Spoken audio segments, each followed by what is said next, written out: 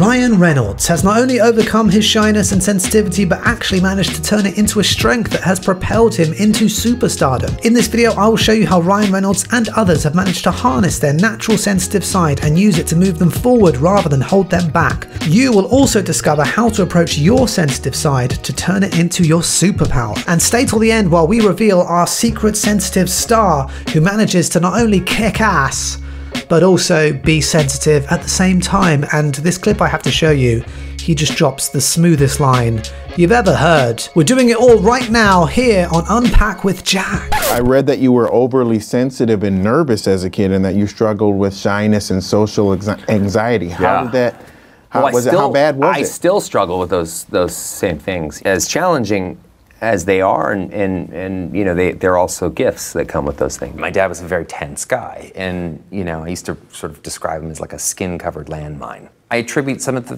why I'm good at my job from that. I'm perceptive. I watch carefully for danger. and, you know, as an adult, that can really come in handy. I was able to kind of constantly mimic people or watch people and look for tiny signs and big signs of, you know, danger. So he talks briefly about growing up in this environment where he had to kind of be on guard for these perceived threats, whether they were real or imaginary. And his sensitivity towards that caused him to be almost hyper perceptive and look at people and copy them and mimic them. And that contributed to his acting career. Let's stop and take a minute to consider what it even means to be a sensitive person and why are some of us so sensitive. For that, we need Dr. Gabor Maté. Sensitivity is simply a trait that people tend to be born with. And the more sensitive you are, the word sens- sensitivity itself comes from the Latin word for feeling. For, the sentire means to feel. So the more sensitive you are, the more you feel. Estimates are that 15 to 20% of us are HSPs, highly sensitive people. And it's just something you're born like. I mean, it can only really be a good thing to feel more, right? Right? Wrong. But that same sensitivity also makes them more susceptible to pain. Ah. I knew there was a catch. More susceptible to pain. As a counselor in my work, I've talked to many people that felt that they were too sensitive, that it was ultimately causing them too much pain. And I think a lot of the time they were ignoring the fact that, yeah, more sensitive people do feel more pain, but they also feel more of the other stuff. Yeah. You're a sensitive guy. Yeah, I'm sensitive. I've always been that way. There's a song that I cannot listen to without crying, and I'm, I'm not even saying it as a joke. It's an Elton John song called The Greatest Discovery, written through the eyes of a two year old about the birth of his brother, and it's it will blow your mind. I can't, I can't even talk about it. I listened to that song, by the way, and and I welled up.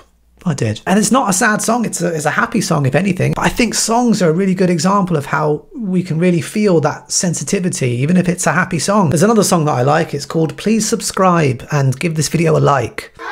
Writer and actor Larry David, maybe not so obviously a sensitive person, but I think he is. Let's have a watch of this. I just notice uh, things, um, I don't know, maybe other people don't. Th- things impact me more. things impact him more. I think that really does encapsulate the sentiments of a sensitive person. Here's Larry David talking about a now famous story where he first went to do stand up. I got up on stage and I kind of looked him over and I went, "Eh, I don't think so.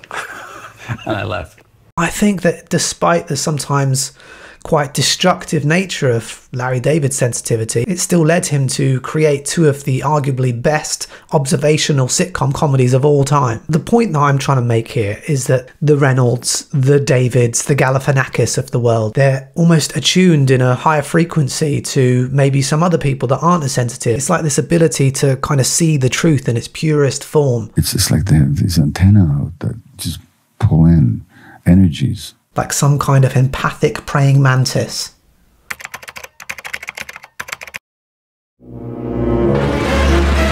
Okay, so how do we use our sensitivity for good and not evil? How do we harness it to propel us forward rather than something that we feel like we need to get rid of? So when you get sensitivity combined with trauma or stress, you get a lot more need to protect yourself.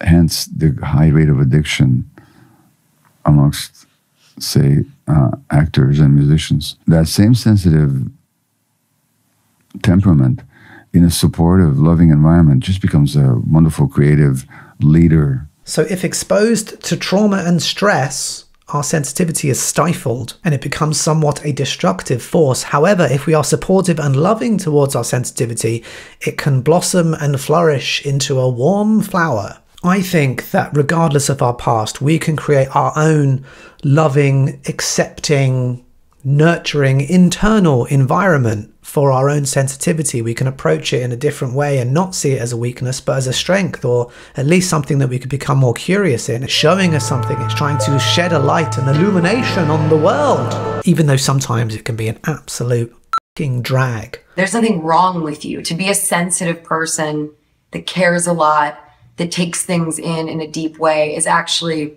part of what makes you amazing and is one of the greatest gifts of life is that you think a lot and you feel a lot, you feel deeply, and it's the best. Like it's not you to the trade off. I wouldn't trade it for the world, even when it's in really, you know, when there are really hard times. Now, I'm certainly not saying that we all can become actors or famous comedians in order to really use our sensitivity, but perhaps if we do embrace it and we do see it as a positive rather than a negative, we can metabolize it into some form of art. If it's just a hobby, if it's a painting, if it's music, if it's a YouTube video, maybe it can even be nourished into a new vocation, a helping profession perhaps. But what do you think? Are you a sensitive person? Is that why you clicked on this video? Do you see it as a positive or a negative or a bit of both? Do please let me know in the comment section below because I really do always enjoy reading other people's perspectives. It's how I learn. Now, of course, it's time to reveal our secret sensitive star the one and only Keanu Reeves. Roll the clip. I'm not a fighter, I'm a lover. I don't know, no, because if you're a lover, you got to be a fighter. How so? Because if you don't fight for your love, what kind of love do you have? No, I'm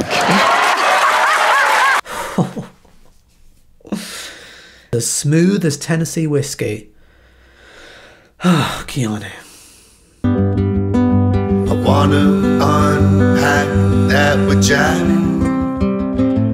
Be right back.